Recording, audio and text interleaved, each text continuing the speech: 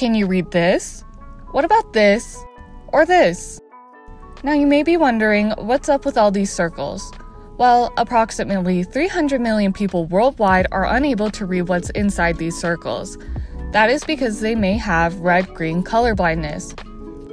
Now, back to the circles. In total, red green color blindness makes up 80% of all color blindness cases. 1 in 200 women are colorblind, while 1 in 12 men are colorblind. So now you may be asking, why is it that men are more likely to be colorblind? It all starts with our sex chromosomes.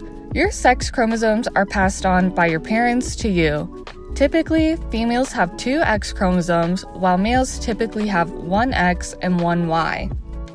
The red and green pigment genes involved in color vision are located on the X chromosome. Red and green color blindness is known as a recessive gene. So for males, they would only need to inherit one gene for color blindness since they only have one X. For females, they would need to inherit two of the recessive genes, which is highly unlikely. While it affects a small portion of the population, many of those who are colorblind are left out of many career opportunities, from being a pilot to a police officer to a chef. So before you set yourself on your career, double check if you can read what's in these circles.